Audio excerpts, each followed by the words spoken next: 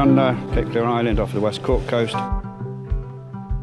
We work for the Bird Observatory here, which has been here for 59 years. Well, we're all here today.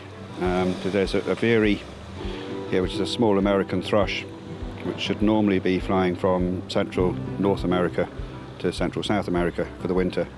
And it somehow got blown across here on the, the recent storms. Uh, it's the first time ever it's been recorded in Ireland. But it's incredibly tame. You know, it's, uh, we're quite likely the first humans it's seen. So, you know, 'cause it'll be breeding in the forests in, in America. So, yeah, it's magic.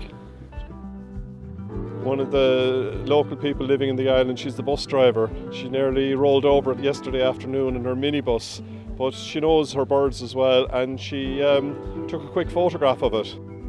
I came down from Dublin this morning, so 5 a.m. alarm clock. It just really, really performed well, giving full frame camera shots. Everyone's absolutely thrilled.